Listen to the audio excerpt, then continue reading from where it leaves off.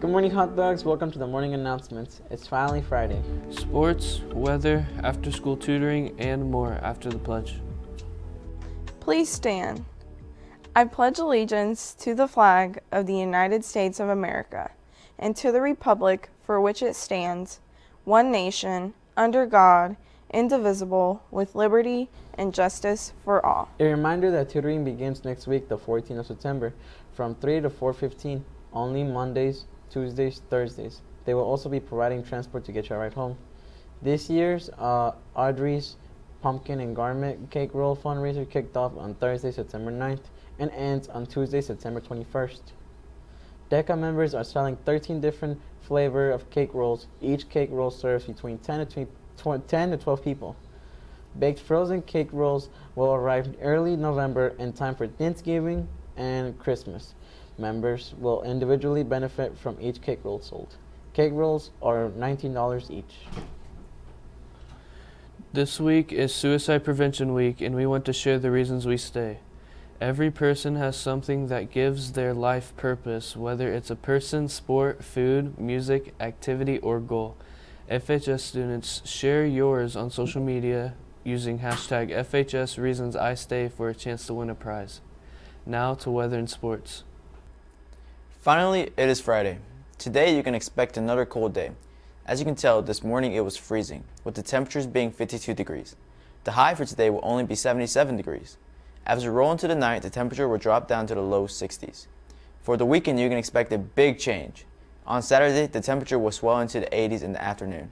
And on Sunday, the temperature will continue to rise all the way into the 90s. This weekend, you can expect some wind, with it being projected to be over 10 miles per hour through Saturday and Sunday. That's all for the weather. To sports with Elijah. Thanks, David. On Wednesday night, the Frankfort volleyball team played Lebanon here in Case Arena. The score is in the first set 8 to 25 Lebanon, second set 15-25 also Lebanon, in the third and final set of the game 25-21 Lebanon with a 3-0 win. That's it for volleyball. Now to soccer.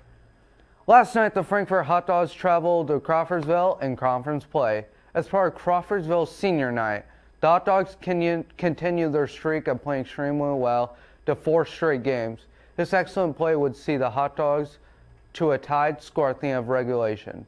In the final minute of the first overtime, a first, unfortunate bounce on a Crawfordsville corner kick resulted in the only goal of the match, as Frankfort was unable to come up with an equalizing goal in second overtime.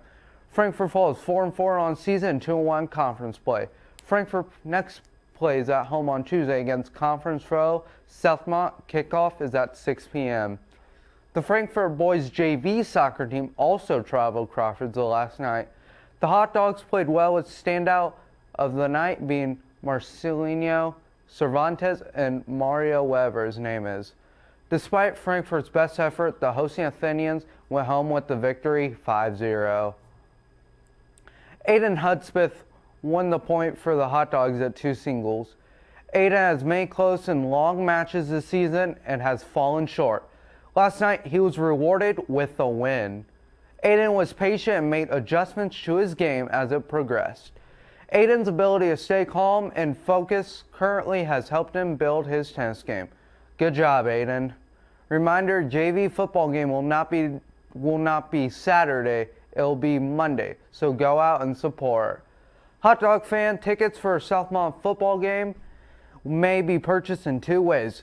You can use the following link, which can be found on the athletic website, or you can use a debit or credit card. You can purchase at the gate. Cash purchases for tickets will not be available at the gate tonight. See you there and go hot dogs. That's it for sports.